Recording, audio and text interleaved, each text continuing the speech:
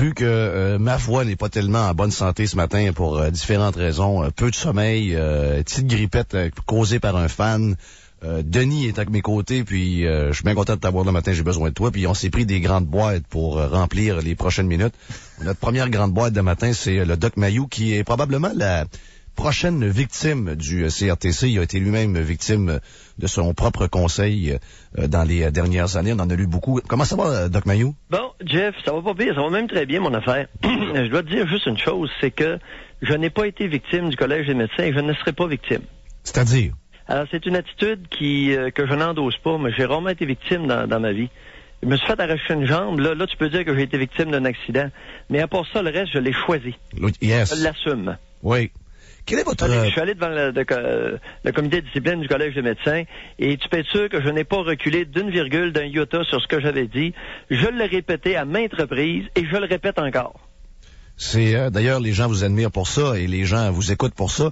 Euh, pourquoi pensez-vous que vous allez être la prochaine victime du, euh, du CRTC ou encore de ces grands sages qui décident qui doit être en onde et pas être en onde? Peut-être être le prochain sur lequel on va jeter son dévolu mais je sais très bien, ce, je connais très bien la route sur laquelle je me suis engagé. Je connais très bien les Québécois, je connais très bien la diversité québécoise, et je sais à quoi m'attendre. Euh, J'aimerais attirer ton attention, euh, Jeff et Denis, sur quelque chose qui a paru hier dans la presse. Je ne sais pas si vous, si vous lisez la presse à Québec. Oui, toujours, toujours. Bon, euh, dans la décision, il y a un extrait à la page A3, un extrait de la décision du CRTC, et que je trouve absolument juteuse. Ça dit ceci.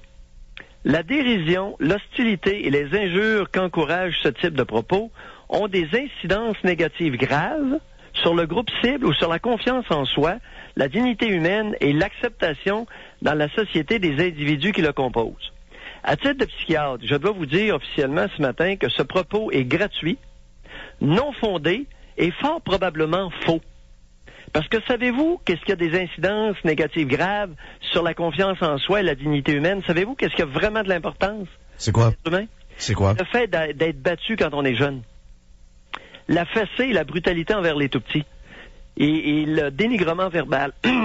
C'est ce qui enlève le plus la confiance en soi et la dignité humaine, le sentiment de dignité humaine à des enfants et à de futurs adultes. Donc, c'est des ah, fois... C'est pas, les propos puis les onneries les niaiseries de Jeff Fillion d'André Arthur.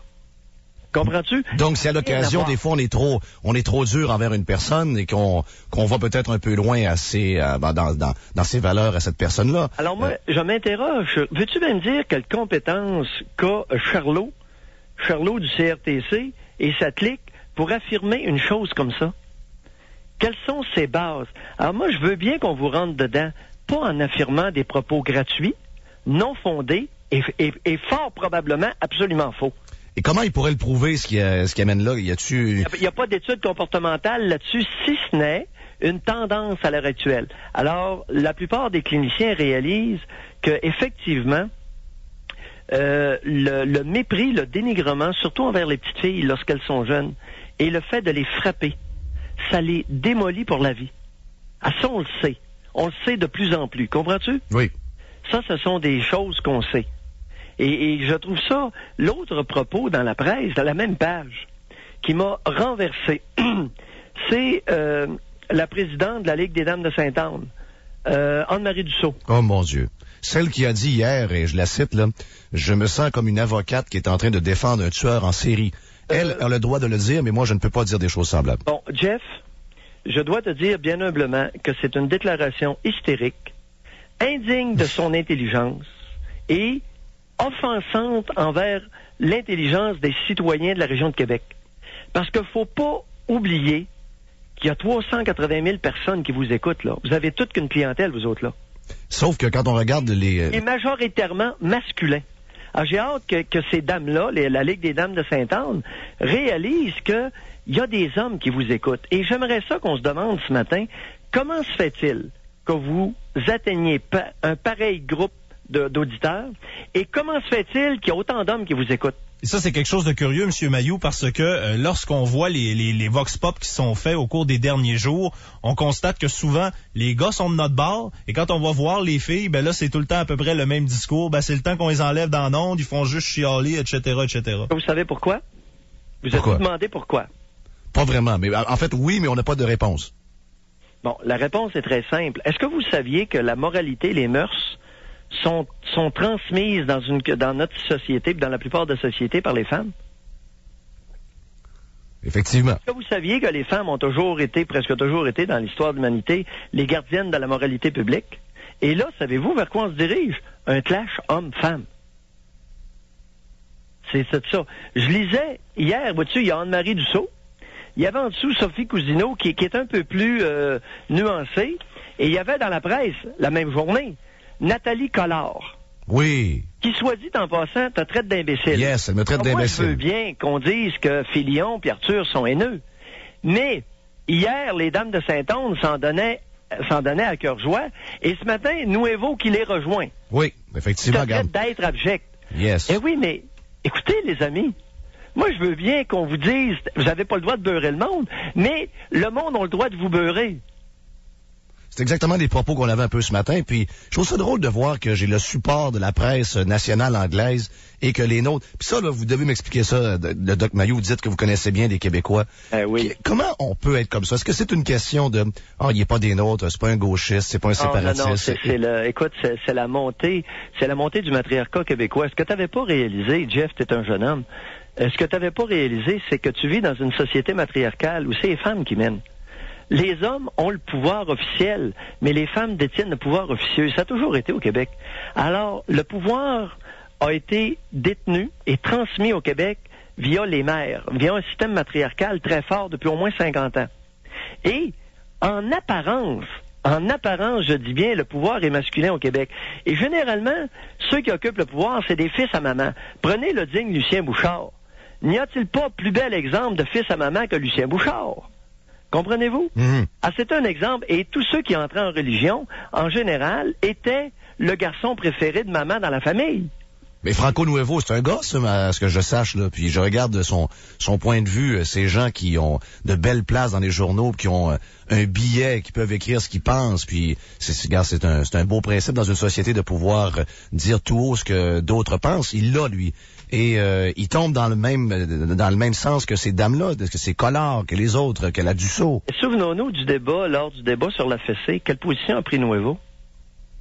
Vous n'avez pas remarqué, vous autres, hein? Euh, je m'en rappelle pas, mais vous allez m'en... Il a vanté ouvertement les coups de spatule que sa mère lui donnait. Ah oui, oui, oui, oui, oui, oui. Ça, pathétique. J'ai trouvé ça pathétique. Donc lui, il a rendu le pouvoir. Lui. Il a donné le pouvoir à, sa mère puis euh, aux autres femmes. Ouais. Lui, il a baissé les bras. Oui. Oui, alors euh, je, pense que comme exemple d'homme bien féminisé, Franco Nuevo pourrait euh, être un exemple moderne, sous des allures supposément d'homme masculin. Mais euh, la féminisation des hommes est un phénomène qui, qui est pas évident, qui est pas évident, et, c'est lors de l'expression d'opinion comme ça qu'on peut réaliser l'influence que sa mère a eue sur lui. Il a banalisé la brutalité et ce faisant, c'est très grave ce faisant, il invite toutes les brutes à continuer leur comportement abusif. Comprenez-vous? C'est qu'il a, il a une influence. Alors, il a beau monter aux barricades contre vous autres, mais si j'étais à sa place, moi, je ferais attention. Parce qu'au niveau de la, de la connaissance et de la conscience de lui-même, c'est peut-être pas le plus bel exemple à donner au Québec. Dites-moi donc, Doc Mayou, euh, les Québécois euh, sont en train de constater quelque chose que je leur dis depuis des années et des années c'est qu'ils n'ont aucun pouvoir. Euh, et euh, on le constate là. Non, non, non, c'est pas, pas, oui, garde. On a 380 000 auditeurs et personne ne les mentionne, personne ne parle d'eux ou presque. Attends, un petit peu, c'est que il y a plusieurs choses. D'abord, les Québécois, c'est pas un groupe, c'est pas un groupe homogène. Ah, il y en a. C'est, ton propos est vrai, mais c'est quand on généralise qu'on perd beaucoup de punch. Il y a une partie des, des Québécois, si tu veux, qui sont moutons, mais il y a une partie qui ne le sont pas et on n'a jamais, on n'a jamais étudié en profondeur notre société pour savoir. C'est quoi le pourcentage? le pourcentage? Oui, exact. Ben, je me suis toujours posé la question, moi, c'est quoi le pourcentage des suiveux des roseaux et ceux-là qui sont capables d'être leaders, puis euh, de, de, de, bâtir ou de démolir ce qui doit être démoli? Puis, je me suis toujours dit, c'est un sur deux. Oui, mais encore là, messieurs, on va, on va, je vais vous inviter à la prudence ce matin. Je suis un roseau. Je ne suis pas un chêne. Je suis un roseau et je préfère être un roseau. Mais quand quelqu'un m'écrase, j'ai un effet de fouette absolument écœurant dans le derrière de la tête. Donc, pas cassable contrairement aux chaînes. C'est bon. Mais c'est drôle quand même de voir que les politiciens euh, évitent euh, de parler de ces gens-là qui demandent quelque chose, qui demandent de revoir leur station de radio, de voir que les journalistes également prennent le bord de la politique, prennent le bord de ces organismes bidons. Euh, tout le monde est dans le même sens, puis on oublie le vrai monde. Bon, mais ne, attendez pas, pas à ce point-là. Oui, mais attends, allez pas trop vite là. C'est sûr que vous autres, vous êtes sur la sellette et je sais ce que c'est qu'être sur la sellette. Je l'ai été, puis quand j'ai passé devant le comité de discipline du Collège des médecins, inutile de vous dire que pour un médecin, d'être traîné devant son comité de discipline, c'était un peu humiliant, mais j'ai accepté avec grand plaisir. Maintenant, vous autres, vous êtes sur la sellette ce matin. Et je vous dis ceci. prenons une coupe de bonne respiration et demandons-nous dans quel courant ça s'inscrit? OK? Dans quel courant québécois? regardons, regardons l'histoire longitudinale, sans remonter euh, trop loin, là. Mais il y a eu la religion catholique, OK? Il y a eu la Ligue des Dames de Saint-Anne, il y a eu les escouades de moralité, il y a eu les bérets blancs. Vous vous souvenez de ça? Oh, le crédit social. Oui, le crédit social. Alors, la vertu au Québec a toujours suscité un bon pourcentage de défenseurs, n'est-ce pas? Oui. Mais malheureusement, c'était les plus hypocrites c'était les personnes généralement avec le moins de qualités humaines. Ça se ramassait tout ce qu'on appelait les mangeux de balustre. Alors, il y a eu, ensuite, il y a eu Duplessis. Comprends-tu? Le clergé et Duplessis ont été des organismes de répression. Ils réprimaient pas tout le monde, mais ils en réprimaient puis ils faisaient peur à, beaucoup de monde. Et là, voilà que la religion catholique a pris le bord. Il nous reste, puis le, le, Duplessis a pris le bord, puis le PQ a pris le bord. Il nous reste quoi, là? Ben, il nous reste des escouades d'individus qui vont se lever pour remplacer. Et c'est pour ça que je vous dis que Anne-Marie Dussault est la nouvelle présidente de la ligne des Dames de Sainte-Anne. Lorsqu'elle affirme, je me sens comme une avocate qui doit défendre un tueur en série. Comprenez-vous? C'est, c'est sataniser Jeff Fillion et André Arthur.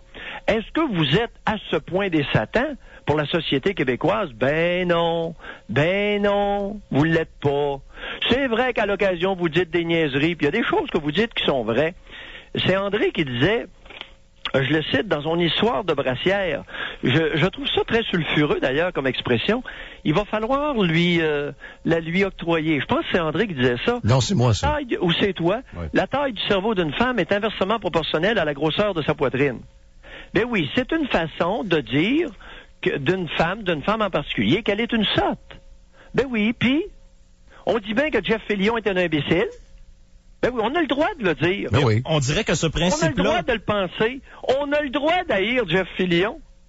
Mais on dirait que ce, principe-là... On a le droit, du même souffle, de dire d'une animatrice ou de quelqu'un d'autre que la taille de son cerveau est inversement proportionnelle à la grosseur de ses seins. Et euh, physiquement... Dans... Quand on dit ça... Et physiquement, c'est probablement vrai, là.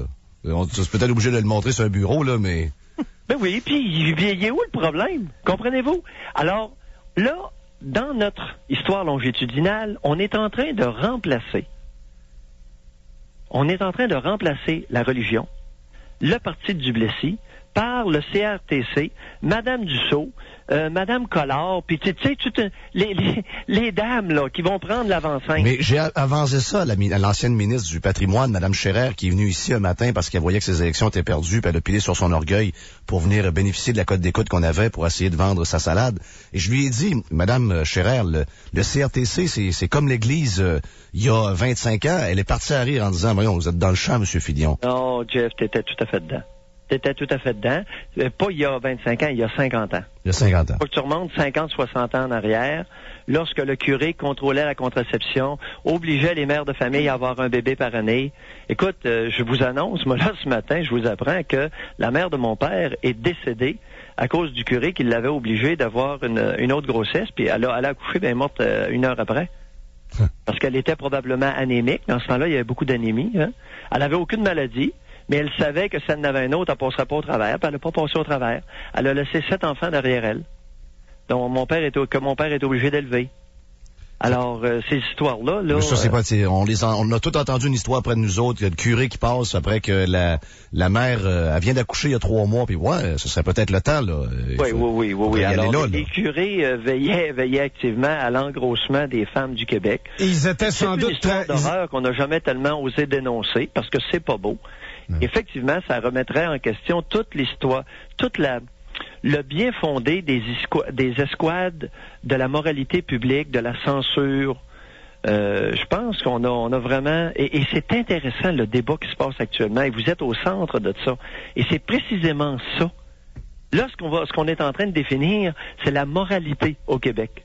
Et ça, je trouve ça passionnant Ce que je passionnant. disais... Et qui va porter dorénavant le flambeau de la censure et de la moralité? Moi, je vous dis simplement, le flambeau, on a essayé de l'éteindre avec la religion catholique. Le flambeau s'est rallumé avec des organismes comme le CRTC, le Conseil de presse. Avez-vous vu la déclaration du, du président du Conseil de presse? Oh, oui. aussi, qui dit, Monsieur Corriveau, Monsieur Raymond, trouve courageuse la décision du CRTC. Aïe aïe. Aïe aïe. On n'a pas la même notion du courage, les amis. Comprenez-vous? Et c'est ça qu'il faut se redéfinir. C'est quoi un individu courageux en 2004? Ouais, mais est-ce que ces institutions-là, Qui a engrossé, qui a cassé sept enfants dans le décor, qui sauve, qui paye pas ses pensions alimentaires, qui travaille au noir, qui fait pas vivre sa famille, c'est ça la définition du courage. Alors là, on va devoir se dire entre nous les vraies choses. C'est quoi un homme brave? Aujourd'hui? C'est quoi un homme courageux? C'est quoi un homme masculin? C'est quoi un homme viril? Et surtout du côté masculin. C'est pas sans raison que vous êtes d'ailleurs, vous êtes deux hommes attaqués. Comprenez-vous? Ouais. Et vous rejoignez beaucoup d'hommes. Des femmes aussi, mais beaucoup d'hommes. Bon, mais la religion a, a perdu son pouvoir. Est-ce que ces Ah, organismes-là, est-ce que ces institutions-là vont perdre leur Québec, pouvoir? Québec, vous êtes coupé de Nébrite et puis la Ligue des musulmans de Montréal, puis toutes ces gugus-là, là, la Ligue des Noirs, etc. Regardez ce qui se passe avec Dieudonné, cet humoriste Ouais. français qui s'en vient à Montréal. Là, il y a Nébrite dans le derrière. Est-ce que vous saviez que moi, j'en ai eu des dépressions de Nébrite contre moi à CKC? Ils vont dans le collimateur. Alors, quand vous dites que la religion s'est terminée au Québec, non. La religion s'est terminée dans la région de Québec. Mais comment on fait pour se sortir de ces régimes-là? Exact. La question qu'on se posait l'autre fois, et on disait ça, on disait ce que le CRTC vient de faire, c'est d'établir une vieille décision.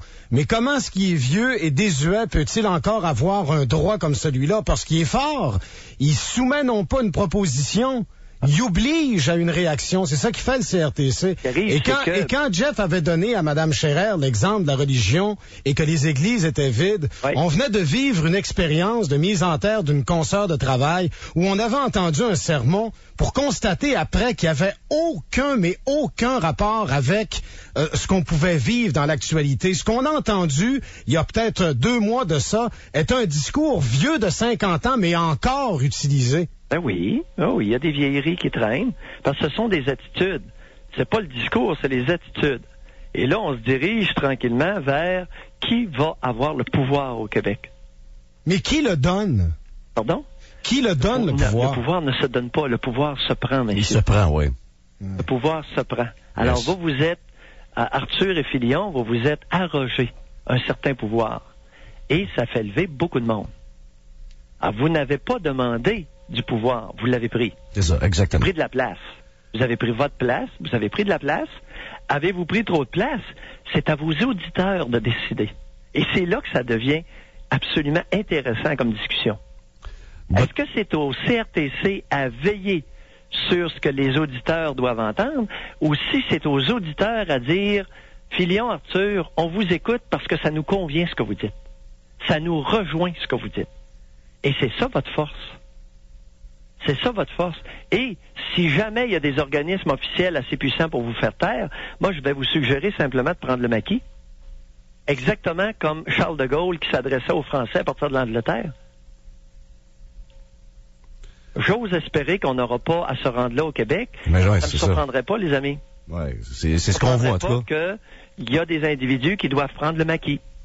Parce qu'à partir du moment où vous avez 380 000 auditeurs à Québec, j'inviterais la gang de Montréal, Anne-Marie Dussault, les Nouveaux, les Collards de ce monde, à être beaucoup plus respectueux envers vous autres. Ouais. Parce que vos auditeurs vous ont reconnu une importance qu'il ne faudrait pas mépriser. Surtout pas à partir de Montréal. C'est ce qui est le pire, c'est ce qu'on dénonce depuis des années. Tout ce qui arrive de Montréal, Montréal juge ce qui est bon et pas bon, mais et souvent, quand on le voit ce matin, ils sont pas au courant. Ils ont jamais écouté une seule émission. Voyez-vous, il n'y a pas juste ça. C'est que la ville, la région de Québec, est une région particulière au Québec. N'est-ce pas? Yes. C'est une région, c'est la grosse région la plus homogène de la province de Québec. Et elle aura à se donner des outils et des moyens pour évoluer. Et André Arthur et Jeff Fillion en êtes. Vous en êtes. Vous n'êtes pas les seuls. Vous en êtes. On a des unilingues. L'après-midi, j'ai l'impression de plus en plus d'en être. Oui. Les gens, les citoyens, m'ont reconnu une crédibilité dont ils se servent pour essayer d'évoluer, de cheminer au quotidien. Et vous deux, d'une autre façon, de, sous un autre angle, vous en êtes aussi. Et jamais je n'accepterai que des petits intellos de gouttière viennent mépriser l'importance que les citoyens de la région de Québec vous accordent. Jamais. Et je vais être le premier à vous défendre. Si grosses soient les onneries que vous ayez dit, parce que des enneries, quand on est en direct, on en dit. On n'est pas toujours intelligent. J'en ai déjà dit, puis je vais en redire encore. Il y a des choses brillantes que j'ai dit. Ben, dans le texte de Mme Collard d'hier, que vous avez lu dans la presse, Doc Mayou, il y, en a des enneries, il y a du travail journalistique mal fait, il y a des mensonges. Dans son texte, il y a des mensonges entre autres en disant que aux États-Unis, Howard Stern a perdu son micro et qu'on devrait faire la même chose avec euh, les gens au Canada ou en se disant si on devait faire la même chose, ce qui n'est pas le cas. Howard Stern n'a pas perdu son micro. Pour quelqu'un qui a 18... C'est ça que je me demandais. Howard Stern, parce que je l'ai pas entendu depuis un certain temps. Non, non, non. Il est toujours à K-Rock. Il y a six stations aux États-Unis. De... En... Ben oui. Est-ce qu'il est encore en onde, Howard Stern? Oui, toujours 50 stations qui le diffusent. Oui, mais ça, là, c'est extrêmement grave. Si c'est vrai ce que tu dis, ben oui, c'est vrai. et que Collard a induit un aussi grand pourcentage de la population en erreur, ça mériterait des excuses de sa part et en quatrième vitesse. Ben, on en a parlé hier matin. Puis ils ont 18 heures pour euh, préparer leur chronique, donc ils peuvent avoir euh, faire de la recherche, aller sur le net. Ici, là, Jeff, je l'ai devant moi l'article. Et son président, Michael Powell, ont instauré un climat de censure qui a fait perdre son micro à Howard Stern, une des plus célèbres grandes gueules radiophoniques américaines. Ben, je vous incite à aller sur le site de K-Rock 92.3 à New York et vous allez voir Stern est toujours en nombre. Il y a des gens qui l'écoutent. Ouais. Ben voyons. Présentement, oui, oui. Là, écoutez, là, ça, ça, ça, je trouve ça grave. Là, je trouve ça grave. Puis vous devriez, si c'est vrai, écoutez, acheminer une plainte là à, à, Madame la présidente des Dames de Saint-Anne, Madame euh, Madame Dussault, et c'est à elle de faire rectifier ce point-là s'il est vraiment faux. C'est très sérieux là, parce que ça c'est de, c'est pas de la désinformation, c'est une erreur, c'est une erreur grave que j'ai cru. Imagine, j'ai prêté de la crédibilité à Collard parce qu'elle écrit dans, dans la presse, et je l'ai cru qu'Howard Stern avait été mis dehors puis n'avait plus de micro. Mais c'est pas le cas. Ben, ça, c'est très grave. Ça, c'est pire qu'une grossièreté. C'est une erreur flagrante qui a induit des centaines de milliers de personnes on risque de on risque de remplir le courriel de Madame euh, Dussault là, parce que des erreurs dans les journaux, on s'amuse depuis quelques quelques mois à prendre tous les tous les erreurs dans les euh, différents journaux et en rire. Il y en a un paquet à chaque matin. Hmm. Euh, non, j'ai l'impression que j'ai l'impression qu'Anne-Marie Dussault va être sur la sellette parce que d'affirmer une, une grossièreté. Vous savez, vous en avez dit des grossièretés, vous venez déjà dit, moi aussi mais de dire, en référant vous autres, qu'elle se sent comme une avocate qui doit défendre un tueur en série. La mairesse Boucher a dit hier euh, sur les ondes de TVA Québec que j'étais euh, de, la, charogne. Oh, ben, elle a le droit de le dire. Elle a le droit de le dire, mais est-ce que je peux avoir le droit de le dire? Bon, ce qui arrive, c'est qu'elle a le droit de le dire. Est-ce que c'est vrai? Ben, ça, c'est autre chose. Ben oui. Elle a le droit de le dire. Écoutez, et je, je lisais euh, Collard à la toute fin, si vous me permettez de la citer. Si c'est le cas, malgré tout le mépris que peuvent nous inspirer les propos de Jeff Fillion de ce monde, cela n'a rien d'encourageant. Mais Collard a le droit de vous mépriser. Oui. le droit. Vous savez, savez-vous quelle va être la prochaine, la prochaine discussion qu'on va avoir dans, dans euh, d'ici quelque temps? Est-ce qu'on a le droit de haïr quelqu'un? Oui. Est-ce que vous saviez que dans notre société matriarcale bien féminisée, qu'on n'a plus le droit, non seulement on n'a plus le droit d'insulter quelqu'un, de dire des injures, de dire des gros mots, mais on n'a plus le droit d'haïr les tinamés? Ah oui, dans de femmes, il y en a que une vous maudite saviez gang que qui le. Québec est en train de devenir une vaste garderie à ciel ouvert et que vous en êtes les, les, les, les, les premiers touchés? Mais ça va plus loin que ça. Là. Non seulement on a le droit Alors, de... a- oui. Ah, On a, on a le- surtout le droit de ne pas aimer. Ce qu'on semble refuser très souvent. Ben oui, pis t'as le droit d'haïr, voyons! Mais c'est parce que euh, T'as le droit d'être en beau maudit, pis t'as le droit d'être en Christ, t'as le droit d'haïr quelqu'un! la colonie culturelle montréalaise me déteste parce que souvent je vais dénoncer un succès à la télévision ou encore un chanteur. Parce qu'au Québec, on n'est pas habitué. Tout le monde aime tout. Ben, ils font tous semblant, là. Mais on est comme ça. Jeff, t'as le droit de pas aimer une chanteuse. Ouais, mais ça, on- quand on le dit, euh, ça, il y Elle, a- elle a le droit de te déplaire. Ben, c'est ça. Puis moi, si vous saviez combien de fois j'ai été traité de fou et par qui j'ai été traité de fou, vous seriez scandalisé. le directeur général, le directeur général de l'hôpital, Sainte-Marie, dans une réunion où un de mes amis était juste aux côtés de lui, puis il ne savait pas, j'étais ami avec ce gars-là, ça en va dire que Mayou, c'est un fou dangereux qui devrait perdre son permis. Un psychiatre de Nicolette, tu sais, voyez, le vieux voyer, pour ne pas le nommer, aurait dit la même chose. Comprends? J'ai-tu intenté des poursuites? Ils ont le droit de pas m'aimer. Le directeur général de Sainte-Marie, le gros Mathieu Vaillancourt, si vous saviez comme j'y avais rentré dedans publiquement, euh, le pauvre gars, il est- écoute, il se vengeait. Ben, c'est bien sûr! Fallait s'y attendre. Je te l'avais remis à sa place. J'avais dit d'enlever son bord à boisson de, de dans son bureau. Il est insulté, le gros lard. Et dans un hôpital, il y avait un bar à boisson d'une coupe de mille pièces avec verre fine approprié. Dans un hôpital de Trois-Rivières. ben oui. Hey, toi, j'ai dit, en plein corridor devant la cafétéria, Mathieu, pourrais-tu dégommer ton bar à boisson de ton bureau? Il dit, il est pas dans mon bureau. Hey, Mathieu, niaise-moi pas. C'est la femme qui lave les verres qui est venue me voir pour s'en plaindre. Il dit, c'est pas dans mon bureau, et c'est dans un local adjacent à mon bureau. Ah, si bon. Vous ça le directeur général d'hôpital, pour recevoir son monde dans un hôpital, ça y prenait un bar. Ça prend un petit bar. Un bar, pas un petit, Un gros. bar élaboré avec verre et fine approprié. Hmm. Papin. Chaque verre pour chaque boisson. Hey. Super. Puis il y avait un minimum, là, c'était un bar d'un minimum 2000, là, en partant. Tu comprends? Doc Mayou, merci euh, du téléphone, puis euh, on, on va probablement se reparler d'ici euh, le 31 août. Ça, nous, puis, ça ben, nous fait du bien. ça mollo, puis au pire aller et préparer un plan B. Alors, euh, ça se pourrait que le maquis soit pour un bout de temps là une nécessité. Puis c'est comme ça. Et euh, moi, je me réjouis si j'étais à votre place, je me réjouirais de du support et de la crédibilité que la population de la région de Québec vous accorde. C'est juste ça qui nous reste, on va vous dire, là. Ben, et- Ça nous non, tient, non, non, ça nous tient fort en C'est tabarouette. ça qui vous reste. C'est tout ça que vous avez. Oh oui, c'est ça. ça, le plus important. Exact. C'est ce que je disais ce matin dans les journaux. C'est tout ça que Nos auditeurs sont l'âme, sont notre cœur, et ils nous gardent, ils nous donnent tout ce qu'on a besoin pour survivre. C'est ça. On, a- on est, un- on, on est, on est une espèce d'outil pour la population. Tu comprends? C'est pas, on n'est pas des leaders. On est des espèces de, de, de solutions tampons qui permettons à des choses. Tu comprends? On est un peu des relayeurs. Mais c'est un rôle extraordinaire. Ah oui, regarde. On est passionnés. C'est vous, messieurs. Yes, merci, Doc. Bye. Doc Mayou, qui est à Radio Média pour les gens qui euh, veulent l'écouter euh, à tous les jours euh, sur les ondes de Radio Média. Et d'ailleurs, Radio Média qui veut, euh, ben, Chorus veut rebâtir tout le réseau alentour du Doc Mayou en appelant la station une station de sport et santé. Vous allez comprendre que santé, c'est pour, euh, Mayou. c'est pour le Doc.